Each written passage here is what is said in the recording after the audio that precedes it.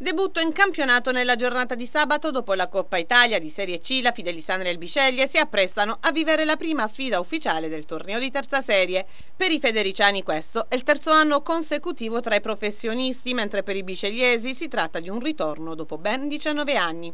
Due appuntamenti nei quali le compagini vorranno dimostrare il proprio valore al di là di quanto già visto nel precampionato. La Fidelisandria affronterà tra le mura amiche del Degli Ulivi la Juve Stabia. Per questo appuntamento lo staff tecnico potrà contare su quasi tutta la rosa, avendo recuperato anche lo stopper Danilo Colella, l'esterno offensivo Enis Nadarevic e la punta Antonio Croce, reduci dai rispettivi infortuni, oltre che l'altro attaccante Riccardo Lattanzio che ha scontato un turno di stop imposto dal giudice sportivo nella scorsa stagione.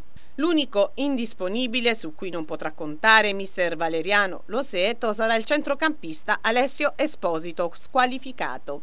La squadra scenderà in campo con il 4-3-3. In porta si posizionerà Mauro Antonio. La retroguardia verrà composta da Tiritiello, in vantaggio sull'ultimo arrivato dei Giorgi, Allegrini, Rada e Curcio. Sulla mediana spazio a Piccinni, Quinto e Matera, mentre il trio offensivo sarà composto da Minicucci, Lattanzio e Barisic.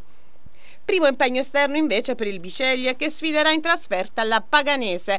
4-3-3 anche per gli uomini di mister Nunzio Zavettieri. Tra i pali ci sarà Crispino, in difesa spazio a Migliavacca, Petta, Jurkic e Giron. A centrocampo agiranno Risolo, Vdoliak e Martinez. In attacco infine Partipilo e Montinaro coadiuveranno Jovanovic. Sono contento, abbiamo fatto un mese di lavoro buono, per fortuna non abbiamo avuto grossi infortuni e quindi e piano piano ci avvieremo nel giro di due o tre settimane a, ad arrivare alla condizione migliore. E credo che da un punto di vista mentale saremo pronti per questa partita. È chiaro che sappiamo che, che, che è difficile, un esordio difficile su un campo difficile contro una squadra che è abituata da tanti anni diciamo, a battagliare, passatemi il termine, in questo campionato, quindi un bel banco di prova per noi.